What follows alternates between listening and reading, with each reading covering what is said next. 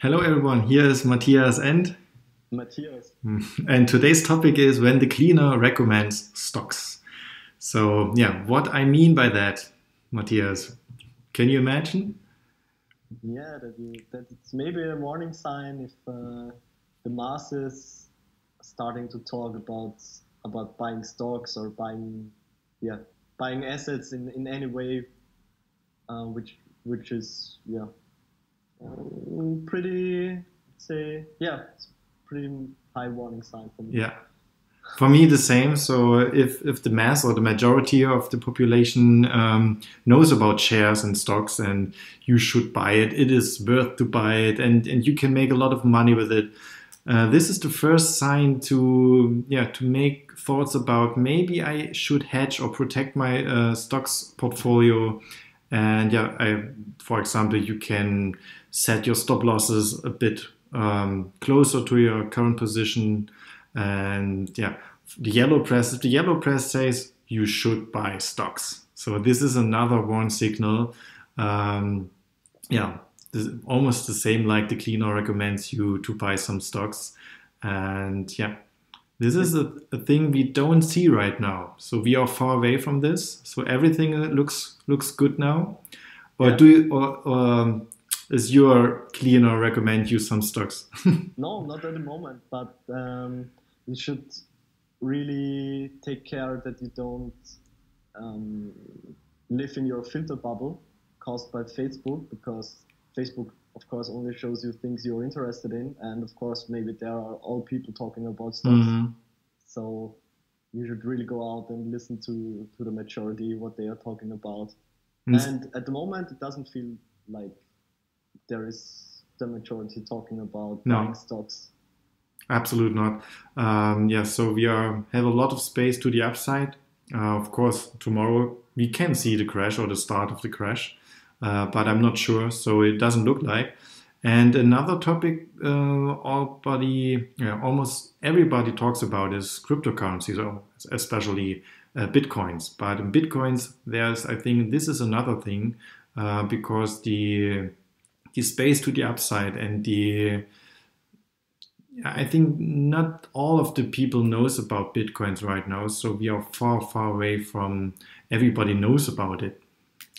And for me, there's maybe potential that institutions will invest into bit, eh, into bitcoins, and there's huge potential. But in the end, I mean, is anybody wondering when Bitcoin falls like 50%? It's pretty normal. Yeah, unfortunately, it is pretty normal. So we had this case a few weeks ago. We fall from five uh, four thousand five hundred or yeah, something like that down to three thousand. We had this yesterday in the webinar, in the Q and A webinar. So this was a drop by thirty three percent. So, but this is pretty much normal, and yeah, you have to handle it. That's true. Yeah. And uh, when we say um, uh, when your cleaner recommends the stocks, of course, it's a synonym for the fear and greed index. Yeah, I can show this. And I was pretty surprised because the last time I had a look at the fear and greed index was when it was, I think, over 90. Hmm. Yeah, a few weeks ago we were at 96. And um, all indices are rising at the moment, making new all-time highs, but mm-hmm. the fear and greed index is falling. So yeah, it's falling, and currently we are in a neutral position, so with a yeah number of 40, uh, 54, and and I scroll a little bit down here, so you can see the development over the last two years. So this was the spot we were at 96, and currently we are in the neutral position, so around 50 yeah, and this surprised me as well. Um, I was expected to see a number around 80 or more than 80. Yeah, so maybe there is potential. Yeah. until so, until everybody starts to buy stocks and the smart money goes into the dump. Yeah. Dump hands. so, but currently it doesn't look like. So, one signal not ex, yeah, not there right now. Yeah.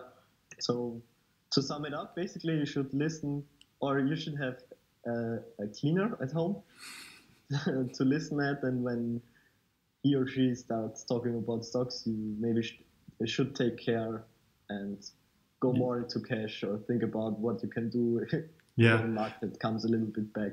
maybe. I mean, we're not talking about crashes. We're talking about the correction. maybe. Yeah, the correction, of course. Yeah, and maybe it's a good idea to subscribe to some stupid yellow press magazines, and Yeah. if they recommend to buy stocks, be careful then. So this is our recommendation.